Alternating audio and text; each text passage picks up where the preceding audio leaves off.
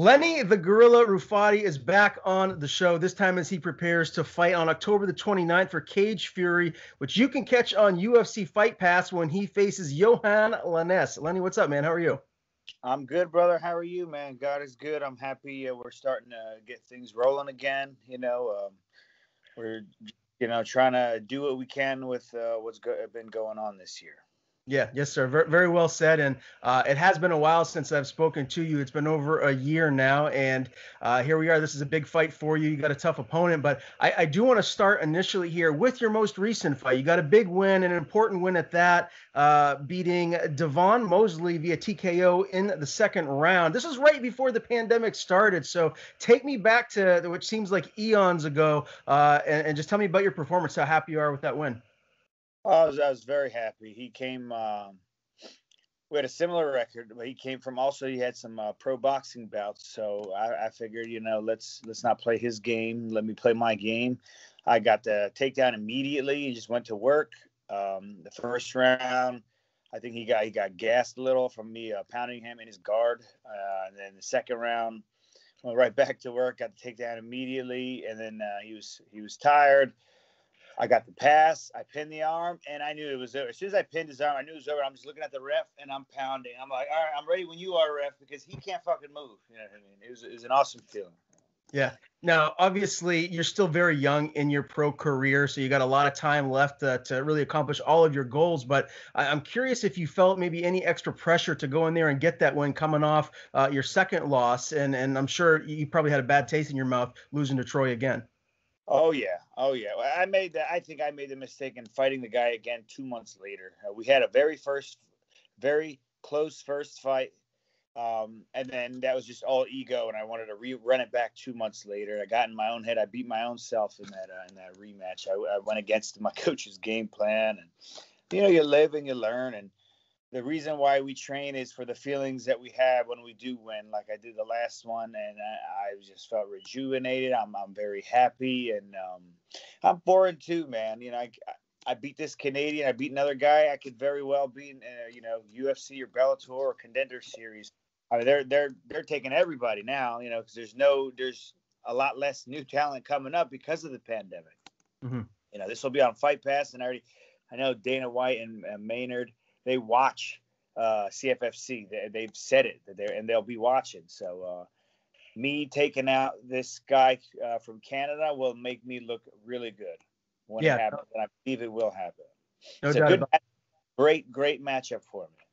For sure. And this is a, a TriStar guy. So, you know, he's coming from a, another uh, elite gym, much like yourself. So I'm really looking forward to that. I'm interested to, to talk about, I guess, the mental side of the game. You're, you're saying how you jumped into that second fight with Troy a, a little too soon. And it was kind of like an ego thing. Like to people that are on the outside looking in that maybe don't understand the MMA game, like yourself, they think, oh, it's just all physical and you just got to be stronger and be better inside the cage. But there's so much to the mental side of the game. How have you grown as a fighter from this setback? Oh yeah, well, basically, it's at the end of the day, it's business. You know, this is a business. It's fighting. It's passionate, but it's business, and like business, you have to make rash decisions. Uh, the and even Mike Tyson said it. He said it's not a, a tough man. It's not a tough man sport. A tough man's going to get hurt real bad, real quick. It's a it's it's a thinking man, thinking man's a sport. My coach Duke Roufus always says that. You know, uh, you know, brains over everything and there's so much that goes into it. Obviously, at the amateur level and new pro level, sure you could get away with being physically strong and all that, but that'll only take you so far, you know, until um, until you really got to start, you know, thinking about what you're doing. And it's easy from the outside looking in to criticize a Monday quarterback, especially a person that has never trained before or fought themselves. You know, there's so many emotions and things that go on in our heads as we walk out to that cage and as we train for months for just 15 minutes. I mean, it's absurd, and I love every minute of it, and that's why I'm doing this. I started my first fight was at 28. I'm 32 now. I've been averaging three or four fights a year. I fucking love it, brother. You know, I feel like I'm blessed, man. Very cool. Well, I know we're all excited to see you step back into the cage here very soon. Uh, let's go back to, uh, I guess, the beginning of this pandemic. You know, February 21st, you get that big win over DeVon. Uh, then, boom, our, our whole world changes. And I know it's been a little bit different for everyone, man. Just tell me what life has been like for you uh, over the course of this 2020. Yeah, sure. So, but before I, I get into that, I wanted to say about DeVon. So we know my opponent on paper looks great. He's 4 and 0 with three knockouts. Has not fought anybody good. My last opponent was 3 and 2. He has the same amount of wins as all four of uh, my opponent's opponents. So he, he's just a, a local t- uh, ticket seller that they just feed him uh, feed him bums. So not to, like I said, everything will come to play when when uh, when the cage locks and and we're in there. I feel like it's a great great fight for me. But you're asking about the pandemic, yeah, man. So I uh, I let loose a little bit. I was uh, let's just say I uh, you know I'm a fat kid at heart, right? So I, I put on some weight. Uh, I was you know I was very happy, and then I'm like, wait a minute, I can't uh, I can't move like I used to. I gotta lose the weight. And you know the gym closed my uh, job closed down, so I didn't have no gym, no job. Honestly, brother, I was depressed, man. I'm like, oh my god, like this is awful. You know, I, I realized how important MMA has become to me. I was, almost took it for granted. I didn't know how much I loved just going to practice, leaving practice, being at practice, uh, and I just thank God that we're, um, you know, the ball's rolling again. I know, I know it's it's not over the pandemic, but you know, we can't shut down the world forever. You know how heavy did you get? What was that? What was the uh, the most you weighed tipping the scales? Well, since you're asking, I didn't want to say, but fuck it. I got up to 237, brother, and I'm only five nine. Whoa, whoa, okay. Hey, I'm ripped right now. Look at this. Solid 190. Yes, sir. So I put it on. I put on about 40 pounds in about three months, and then I took off about 40 or 50 pounds in the next three months hey, if you think about it, when I first started MMA training, I was fighting every two, three months. I never uh, gave myself a break.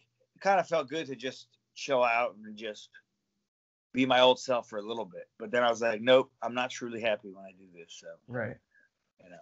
Yeah, no, I hear you. Now, we, have talked before, uh, and, and at a pizza shop. Was this basically because of pizza? You're just devouring a lot of good pie. Is is that how it all the weight came on? Uh, yeah. So, like I said, the business that I, I was managing, the restaurant, the pizza shop, they closed down temporarily. And then I was just, I was like, oh, well, I don't have a fight coming up. So I guess I'll just eat tonight. And then I'll eat again in the morning and then lunch and then dinner. yeah, it was, you know, like I said, I never had a good diet growing up. Um, but then MMA obviously changes all that if you want to unless you want to be a, a small heavyweight. yeah. So uh, you know, now that you're you're back to your your normal walking around size and everything, and, and, and everything is is getting somewhat back to normal. Are you working again? Is tell me what your, your I guess your day to day life is like now. Yeah, thank goodness I got a new job. I think I got a better job. I got benefits and all that. I uh, I'm an overnight uh, manager at a local Walgreens. So okay. if I can get them to sponsor me, I'm set. Let me tell you. yeah, for sure. That's that's a, a, a, huge business right there. That would uh, really go a long ways for you. Now, as far as this working out for your training, I got to imagine it, it, probably is the perfect situation, right? You you work at night, you can train during the day. Is is it just kind of allowed you to get even more work in? Oh yeah, brother. So it's uh, the way we do it is we work seven nights in a row at 10 hours each and then we're off seven nights in a row right now i'm off so that's why i, I was able you know able to do this um, it's a little hectic on the on week training, but I still either way I still train every day. Every mm-hmm. like uh, on my off week I'll do more optional classes on top of MMA, and then on my on week I'll do strictly MMA, you know, stuff like that. Now, Walgreens typically has a, a red box, uh, right, at least at the location in most of them. And I'm a huge movie buff. So that leads me to my next question. Did you get into any movies or any Netflix series during this this downtime? Like, give me a suggestion of something that you liked uh, that I, I should check out. Oh, man. Well, since you asked, since you said Netflix, you gotta see if you haven't seen it you gotta see tiger king it is a, a um, american masterpiece okay don't sleep on Tiger King. Episode three took the cake. Probably one of the best shows ever. Um, let's just say that bitch Carole Baskin is still out there. So, do you think she murdered her husband? Because I yes. kind of do. Yes, dude. I I talked to okay police officers and detectives that I trained with, and they told me they could bet a million dollars that she's guilty. But she's smart. She's smarter than OJ because she didn't even get charged. If there's no body, they can't they can't charge you with murder. And if the body pops up somehow, which it won't, then they can. The key, the, the smoking gun was uh, the will. In the case of my disappearance, nobody ever says that in a will ever. She, the bitch is guilty, but hey, she got away with it. Whatever, I guess. Now, have you ever seen uh, Kingdom? Because that's something that, and it's an MMA uh, series. I got into it big time. Have you watched that yet? No, no, sir. I have not. Um, I'm so entrenched in MMA on my all my thoughts all day, every day. I decided to not give that one um, a look, but perhaps I will. If you think it's good, maybe I'll take your recommendation and check it out. Yeah, yeah, bro. You'll you'll really enjoy it. I, I got hooked and I blew right through every season in like a week and a half. I just I loved it. It's one of the best series, especially being a huge MMA fan. Uh, I I just soaked it right up. So I guarantee you'll love it. Oh, okay. Well, in that case, then maybe I will check it out. All right. Now let's talk about this camp a little bit. You know, obviously Roufusport, you know, Coach Duke Roufus, you have some of the best training partners in the world. Who have been some of those main guys that you've been getting the work in for this camp? Oh man, we got, you know, we have an all-star set of cast, man. We got Gerald Meerschaert uh, always helping me with uh, uh, everything. We got Emmanuel Sanchez. We got Raufeon Stots showing me how to how to wrestle uh, college style, fighting style. I love it, man. We we have such a good team in the in state of Milwaukee, state of Wisconsin, in Milwaukee. It's amazing. These guys are all top of the line fighters, and I get to learn from them, and I'm grateful. You know, we got Anthony Pettis, Sergio Pettis. Um, I'm I'm blessed, man.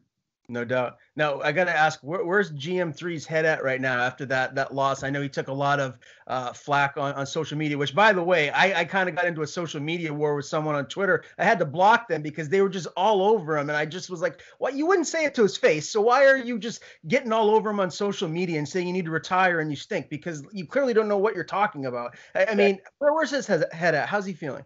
Oh man, he, he's doing fine. You know, he's been there, done that. Dude has 40, 50 pro fights. He has more submissions than anyone else in the UFC middleweight division. Um, the guy's a veteran. Shit happens. People that do say things like that, once again, goes back to what we were talking about earlier. They never have the balls to say to his face, or would they ever get in the cage? Uh, right. the, the man is a boss. Nobody wanted to fight that guy, and he stepped up to the plate. And I know for a fact he'd do it again if he if he had to. You know, Gerald is a is a class act. He's a uh, he's a great human being, very knowledgeable. I honestly believe he will get to the top in his division. The guy is a monster. It's just a you know a minor setback. You know, yeah, shit happens. it's sure.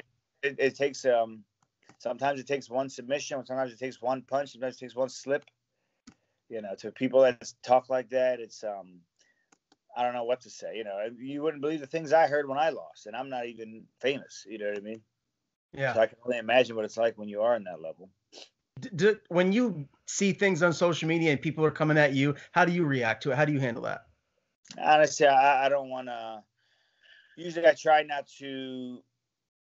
Obviously, I I never ever make threats or say anything vulgar because why? I don't give them. And two, I just tell them you wouldn't say this to my face, nor would you do what I do. So uh, please, if you have, you know, basically it sounds cheesy, but if you have nothing nice to say, don't say it at all. Um, clearly, you have your own insecurities, and you need to project them onto others. Why don't you, you know, look at yourself in the mirror? Yeah, no doubt about it. A lot of keyboard warriors out there. Hopefully, uh, especially with this pandemic, so many keyboard warriors. Oh, the pa- oh man, you know that's why I stopped I finally took advice and I stopped uh, the political posts and all that. It's just no look. People they're either left or right. They're not gonna. You're not gonna change nobody's mind. So it's just I'm better off just shutting the hell up, and you know whatever plays out plays out. Yeah, no doubt about it. I, have you seen any of the, uh, the the comedic stuff that I've done? I, I have this side thing that I'm trying to do some comedy, and I got a good Trump impersonation, and I'm working on my Biden, and it's like no matter what I do, I saw your Trump clip. That's hilarious. That's pretty good, dude. That's, that's just try to get on a Saturday Night Live for that one. Well, that's what I'm trying to do. That's always been like a uh, a passion and a goal of mine. So no matter how, how, old I get, I'm I'm always trying to work in that direction. But to go back to what you're saying, I actually was getting private message saying like, you know, forget you, you shouldn't be doing that. And I'm like, look, you have no idea where I fall like politically.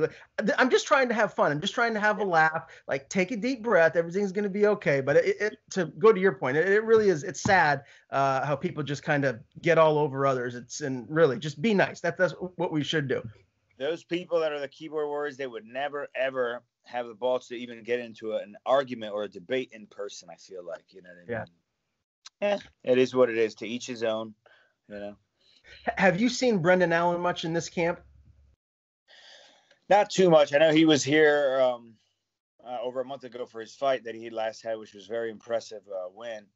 Uh, but no, I, I know he's uh, he's been around, you know, Louisiana. I know he's coming back soon though for his next one. So yeah, I wanted to get your thoughts. Good man. He's a sarcastic motherfucker, but he, he's very nice. He's got a kid now. He's got a he's a great person. Yeah, I wanted to get your thoughts on that matchup with Heinisch. How do you see that shaking out?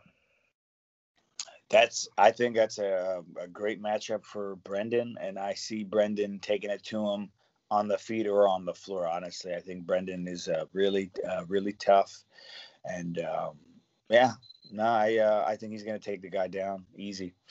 I'm looking forward to that one very much. One last UFC prediction I got to get from you before we transition here. Obviously, the huge lightweight title is right around the corner. Khabib and Gaethje. I can't wait, man. It's like Christmas Eve uh, for me. I, I'm just really salivating for this fight. Who do you have, and how do you have him winning it?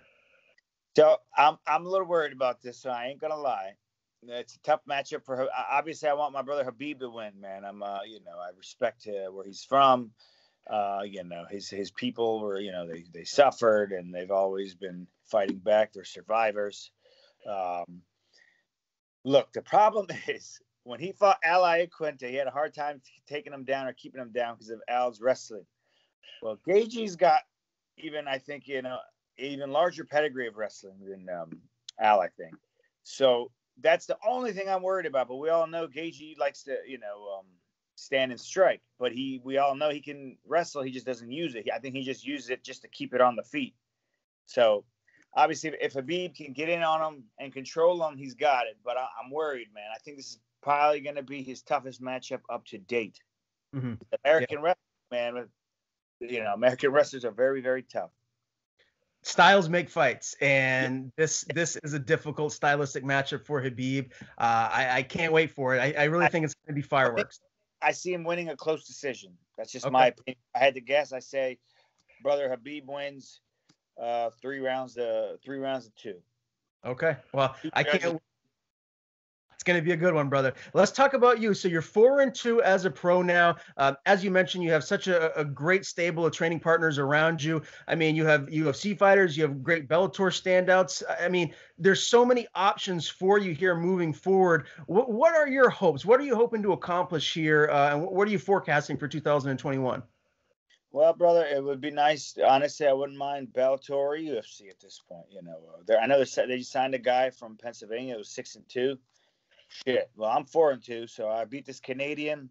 Fight again in uh, in December for CFFC, maybe in um, in Philly again. I finish out the year six and two, and then maybe you know uh, Bellator UFC 2021, or who knows? I beat this, I knocked this Canadian out. Um, I know they're doing a contender series in November. Five and two, why not? I mean, uh, I've seen guys with lesser records on contender, so let's see. Also, I should note my very first UFC Fight Pass fight was a highlight reel knockout. I knocked out the number one uh, guy coming up as pro as a welterweight. Um, I just put him to sleep with my left hook, and uh, that was like top knockouts of the year on UFC Fight Pass in 2019. It was like number 17 out of whatever the countdown was. So, so I'm trying to do that again. Yeah, for sure. Do you do you feel like you kind of rise to the occasion if the, if the stakes are bigger and the lights are brighter, you're going to see the best uh, Lenny the Gorilla that there is? Yes, I've I've noticed about myself when there's um whenever there's more pressure, that's you you know they say pressure makes diamonds. Usually I that's when I'm like, okay, let's fucking go. The problem is if if you think the guy you know sucks or whatever, that's usually the problem because that's when you that's when they catch you sleeping. You know, I mean, when you don't respect them, it's always better to, to respect them. Now, this fight for Cage Fury will be close to, I believe, where you grew up in Jersey. Are you going to have a lot of family and friends uh, at this event, or will there even be fans in attendance? That's that's the question, I guess. That's a great question. So at first there was no fans, and now each fighter gets like a table or two of fans. So eh, I got one table, six people. So because it's quarter capacity or what, or even less or something, whatever the um, you know, uh, I'm just happy I'll at least have like a little fan booth. But usually, you know me, I when I when I fought at Ring of Combat, I bring over hundred people every fight, man. And placing there is, uh, is I turn that place into an Albanian, you know. like, and then if it's me and my uh, Albanian brothers fighting there that night, the whole place is fucking Albanian. It's great. We won't obviously won't be able to have that this time. But I grew up in Cherry Hill, New Jersey, which is right over the bridge from Philadelphia. I have all my friends I grew up with. Uh, we can hang out right after the fight and go get some Philly cheesesteaks. I believe my father, for the first time, he's going to come to the weigh-in. He said, "I'm only coming to the weigh-in. I take pictures and we go." I said, "I cannot come and watch. Uh, you know, God, God forbid uh, you, you you lose or you get hurt or something. I, you know, I'm 60. I don't want to catch heart attack." That's he's and he's not joking. So, at least I know he cares, so that's good. Will, will he be watching it on Fight Pass though, or will he just wait to see the result and then watch it? Yeah, no, he'll wait to see the result because uh, he obviously he, he does not like me doing this at all, and I I get it. I'm his son, you know. But he's saying if you're gonna do it, son, better fucking win. Do it the right way. Don't embarrass me. That's what he says. So I'm like, yes, sir. so when do you leave for Philly, and what are the, the the testing and quarantine stipulations that you're gonna have to go through? Yeah, so I luckily I did all my uh, medicals yesterday and the day before. Everything is green. Um, everything is good. Uh, I have to take so the fight's a Thursday, the 29th. The Monday prior, I got to take a uh, corona test out in Philadelphia and then just quarantine for I think 24 hours or whatever the case may be, and we're set. Okay, so you won't have to test day up like b- before the fight. Right. I, I, think from what they said, it was Monday, the Monday yeah. before I think that's what they're doing now. Unless they do Monday and then again the day before the fight. I don't know, but that's what the Arias told me. Uh, the matchmaker said Monday. All right. Let- Sunday, and I'm, I'll be there for a whole week. I was just out there visiting. I'm happy to go back again. Let's dive into this matchup with Yohan. Based on what you said earlier, I, am feeling like you think you're going to finish this guy. Uh, that you just have a little bit better competition that you faced in the past, and you're just more more well-rounded. Uh, how do you see this fight shaking out? Yeah, so he's he's a big guy, cuts a lot. He's strong. He likes to throw hands. Um, he just likes to swing, and he likes to bully guys. So, just what do you do with that? You bully the bully. Whenever uh, that's why a bully is a bully because they don't like getting bullied, right? They're uh, he so after the first round he's going to be gassed.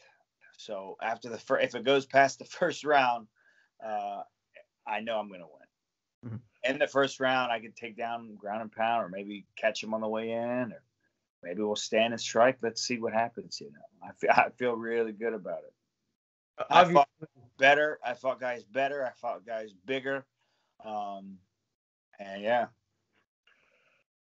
so obviously MMA, you know, you're going to take whatever he gives to you, but you know, when you close your eyes that night and you envision how this ends, do you see it going into the second round, him gassing and you finishing him, or do you think, you know, you could potentially finish him in the first? Sure, potentially in the first. Uh, if I had to make a guess, I say round number two, I do to him what I did to my last victim. Okay. Uh, I wanted to say he's also like a, um, I don't know if he trains at TriStar. I think he's uh, he's got like his own gym or something like that. He's a he's a I believe he's a kickboxing coach. So we'll see. All right. Well, this is a really intriguing matchup. Uh, obviously, he has a, a good record as well. So uh, I think, you know, as you said, Dana White watches uh, CFFC and uh, he'll be tuning in uh, come fight night because this is a big regional fight for you. I think the biggest question that, you know, really everyone wants to know is post fight when you win, are you going to Geno's? Are you going to Pat's? Where is the post fight cheesesteak going to be?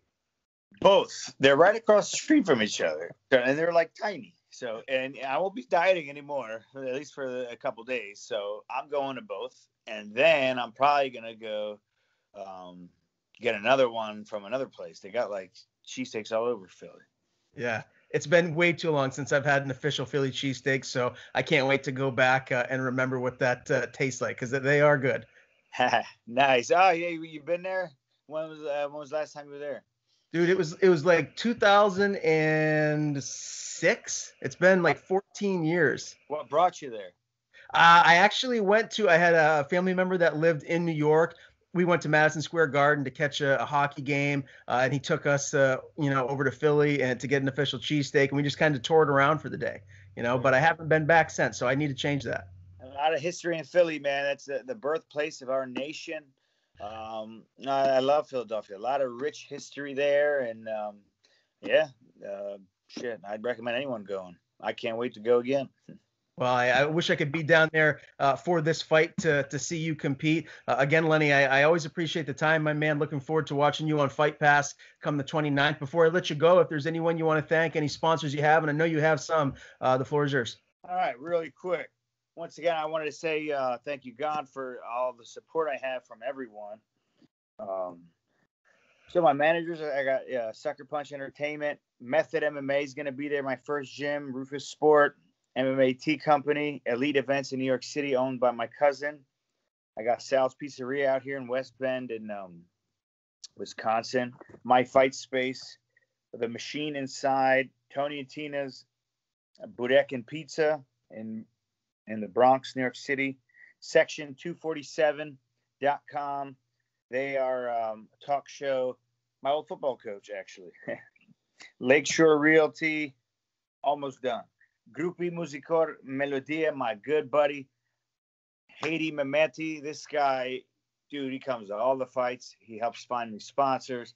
I love this guy. And he happens to be a wedding singer, an Albanian wedding singer. Very cool. yeah. Harry's Prohibition Bistro here in Wisconsin. He's got the best authentic Italian food in the in the in the in the state.